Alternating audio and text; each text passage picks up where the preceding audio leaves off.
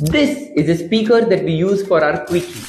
It's like every other speaker, whether big or small, they all work on the same principle. It has three important components. One is a magnet that you might have noticed on your phones and everything when it sticks. The second is an electromagnet, which I'll tell you more about. And the third is the diaphragm that you generally see vibrating on a speaker. This magnet and the electromagnet get the diaphragm to vibrate and this vibration is transmitted through the air and we perceive it as sound. The audio signal passes through the coil as current. When the signal goes up, the electromagnet gets stronger and it goes closer to the permanent magnet. When the current goes down, the electromagnet becomes weaker and it moves further away from the magnet. This vibration between the electromagnet and the permanent magnet is transferred to the diaphragm and this is what produces music. Now let me make an electromagnet and show you how it works.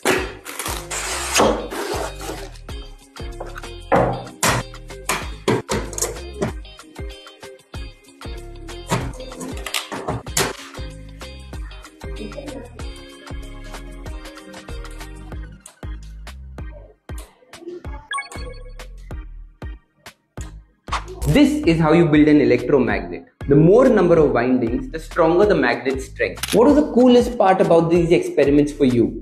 Please let us know in the comments.